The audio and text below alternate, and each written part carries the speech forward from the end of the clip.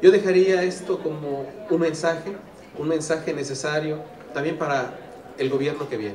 La necesidad de revisar lo que se va a hacer en materia de seguridad pública, que incluye, insisto, no solamente la parte de los elementos de policía, sino también la parte de la prevención del delito y por supuesto la atención a los ciudadanos que han cometido algún ilícito y en este momento se encuentran en situación de reclusión.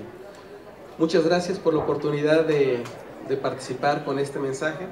Yo solamente diría que mi enhorabuena al sistema penitenciario, ojalá y se puedan lograr mejores cosas en el futuro para que nuestro sistema penitenciario esté mejor posicionado de lo que está en este momento.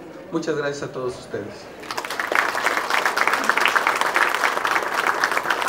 Gracias al doctor David Cienfuegos Salgado, secretario general de Gobierno. Secretaría General de Gobierno. Juntas y juntos podemos.